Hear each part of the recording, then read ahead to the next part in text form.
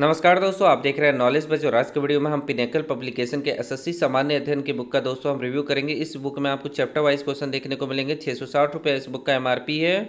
और number of page के बारे में बात करें तो इस बुक में चार सौ इकहत्तर पेज आपको देखने को मिलेंगे। एसएससी के पिनेकल का ये बुक दोस्तों काफ़ी अच्छा है, क्योंकि पैंसठ सौ से ज़्यादा टीसीएस के प्रीवियस ईयर क्वेश्चन पर आधारित आपको क्वेश्चन देखने को मिलेंगे।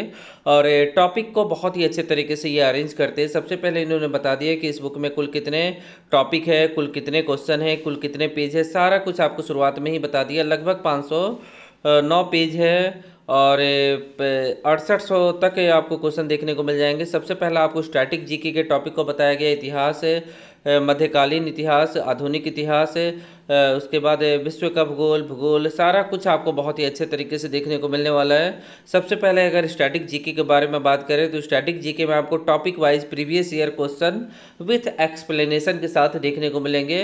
और ये बुक दो, जो दोस्तों होता है पॉइंट पॉइंट होता है अच्छा बुक होता है, आप इन्हें ले सकते हैं। Paper quality printing quality pinnacle publication के बेहतरीन होते हैं तो आप इसे ले सकते हैं।